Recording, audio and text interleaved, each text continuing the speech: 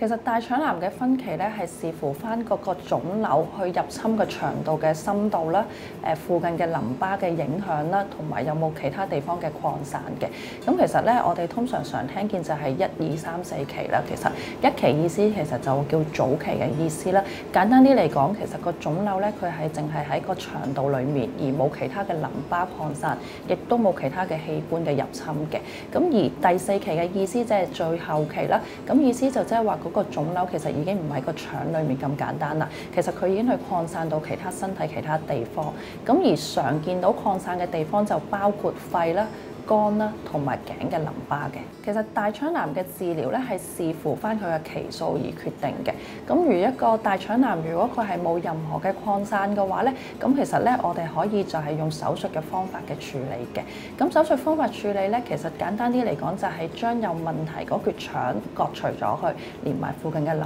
巴，可以嘅我哋都會盡量幫佢。接駁翻條大腸嘅，除非係一個腫瘤個位置好近嘅肛門位置，而我哋唔能夠作一個接駁咧，咁我哋就會做一個叫人工造口嘅嘢嘅。咁如果假設誒呢個手術其實我哋而家可以做嘅做法都可以用微創方法處理啦。咁其實以前咧就可以用傳傳統手術方法。傳統手術嘅意思就即係一個開一個好大嘅傷口啦，就將呢個腫瘤清除啦。咁而家因為個技術嘅發展咧，我哋可以用到微創嘅方法。微創嘅方法其實我哋都係要喺個肚度開個傷口，只不過傷口會比較細啲。咁而裡面做嘅手術嘅過程其實係一模一樣嘅，只不過因為個傷口細啦，咁所以手術後咧病人個康復啦，同埋病人手術後嘅痛楚其實都會少啲嘅。咁但係當然啦，做完手術之後，我哋亦都要視乎翻我哋割出嚟個腫瘤嘅期數，而決定個病人之後需唔需要再進行一啲譬如電療啦、化療啦或者標靶嘅情況嘅。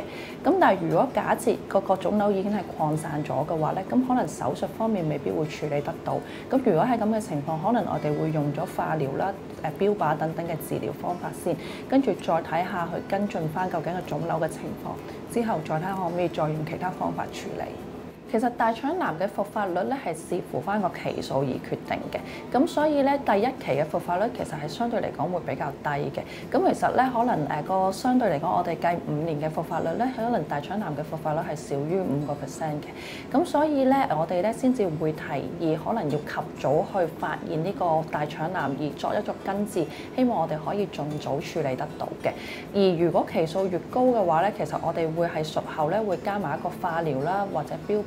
等等嘅治療咧，佢希望將我哋嘅期數去減低嘅，咁樣樣誒令到個復發率亦都可以降低嘅。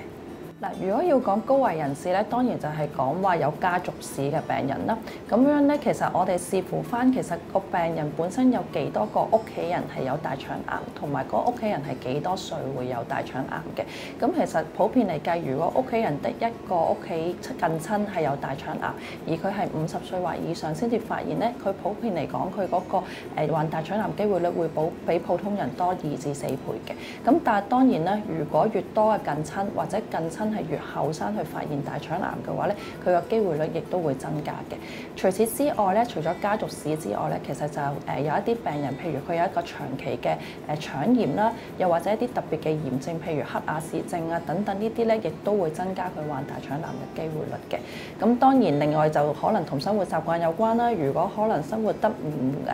誒生活習慣唔規律啊，飲食唔定時啊，唔多運動啊，誒壓力大啊，或者吸收得太少纖維